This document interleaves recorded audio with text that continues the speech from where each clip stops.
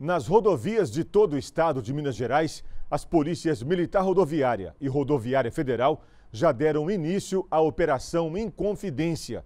Nos vales do Mucuri e Jequitinhonha, os órgãos de segurança intensificam as blitzen. do prolongado logo à frente e o policiamento já é reforçado nas rodovias do Nordeste de Minas.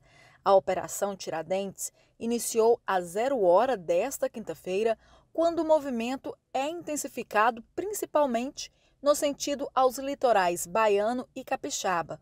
O foco da ação das polícias militar rodoviária e rodoviária federal é a segurança e a redução no número de acidentes.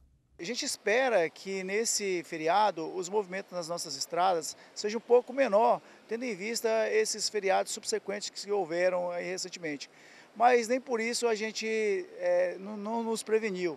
Teremos aí efetivo lançado nas nossas principais rodovias, com operações, operações de fiscalização de velocidade, fiscalização de normas em gerais de trânsito.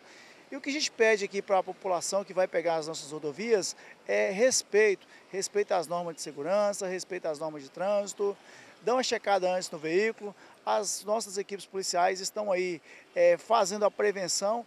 E os motoristas precisam sim redobrar a atenção, ainda mais caminhoneiros, porque assim como no último feriado, o da Semana Santa, neste de Tiradentes, há limitação de circulação nas rodovias. Bom, o planejamento é parecido com o que já foi feito para o Carnaval e a Semana Santa. São feriados prolongados, no qual a gente espera um aumento de fluxo de 20% a 30% de veículos a mais, né, circulando pela rodovia. Há restrição de tráfego, de trânsito para esse tipo de veículo em, em rodovias de pista simples, no caso a nossa aqui, né.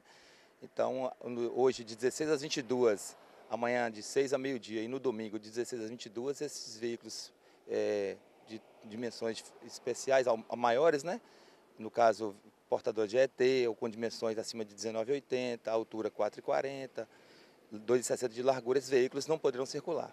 Esse caminhoneiro, que saiu de São Paulo sentido a cidade de João Pessoa, na Paraíba, disse que, apesar da limitação do tráfego, a operação não atrapalha os prazos das entregas. Fala né, que agora a gente faz integração, é dois dias de integração. É, né? É, aí eles não querem, é 10, é, 10 horas tem que estar parado não pode mais rodar. Aí, aí nós fica das 10 da noite, ah, só pode sair às 6 da manhã.